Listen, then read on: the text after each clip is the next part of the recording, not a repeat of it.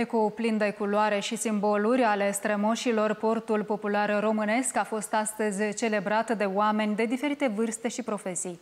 S-au întrunit la muzee, rezervații naturale, la instituții de învățământ, biblioteci, case de cultură, pretutindeni, unde Ziua Națională a Portului Popular, pe care o marcăm în ultima duminică a lunii iunie, este sărbătoarea spiritualității și identității naționale.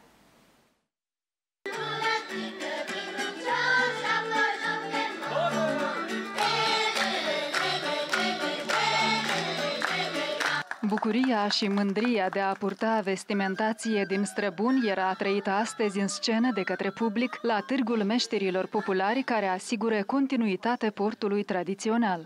Portul popular pentru mine este istorie de neam, credință, mândrie națiune. O sărbătoare, ar zice că e, Sfântă Sfânta poporului român, da. Haina noastră tradițională românească. Ceea ce am apucat din, de la părinți, de la străbuni, nu transmit mai departe. Să bucură lumea, mă bucur să eu.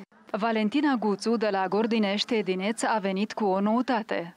Asta e o, un costum ales, așa se numește. Noutatea e că țes costume în întregime pânza și în timpul țesutului a pânzii fac și ornamentul.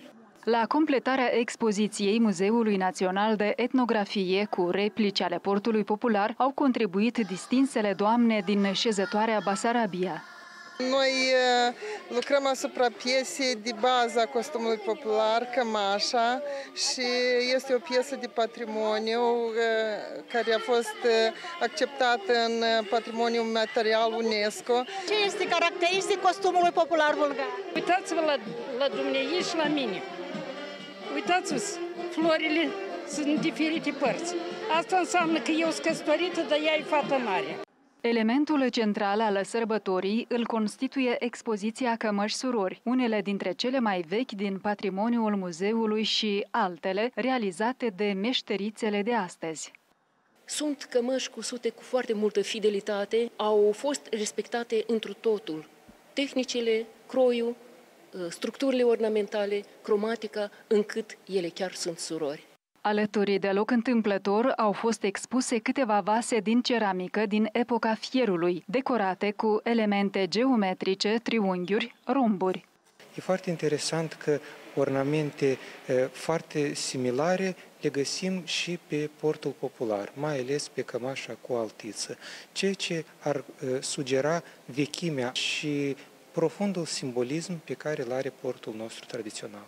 La Universitatea de Stat a avut loc astăzi o dublă sărbătoare.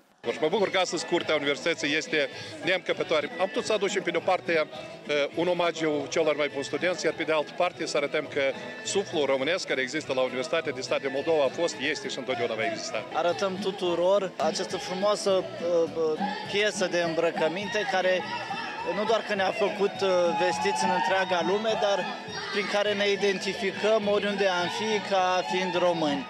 Ajunsă la a opta ediție, Ziua Națională a Portului Popular este marcată în acest an prima dată, după înscrierea cămășii cu altiță, element de identitate culturală în România și Republica Moldova, în prestigioasa listă UNESCO.